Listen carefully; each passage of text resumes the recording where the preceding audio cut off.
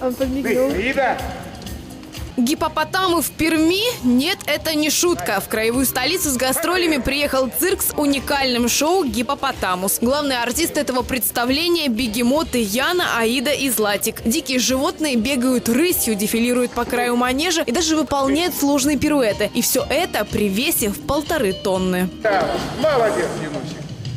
На. Обучить командам бегемота – непосильная и практически нереальная ноша, рассказывает Тофик Ахундов, первый в мире дрессировщик, который вывел на манеж сразу трех гипопотамов. Я не первый год работаю.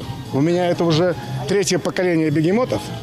Вот. э, И я их взял очень таких э, маленьких, годовалом возрасте. Потому что с бегемотами, если возьмешь старше, ничего не сделаешь, бесполезно.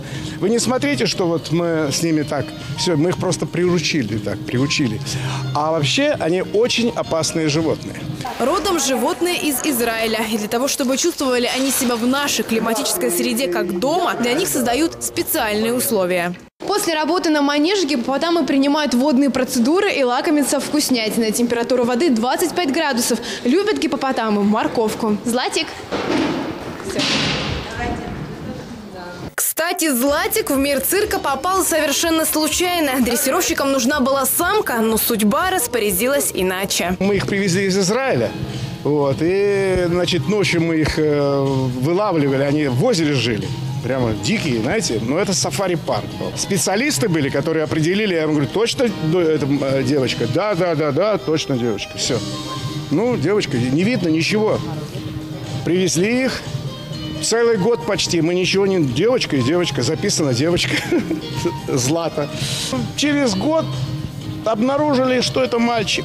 В шоу задействованы десятки профессиональных артистов цирка. Зрители ждут выступления воздушных гимнастов, жонглерах на унициклах, велосипедах на одном колесе. Также дрессировщики покажут номера с обезьянами, собаками и попугаями. Стрела.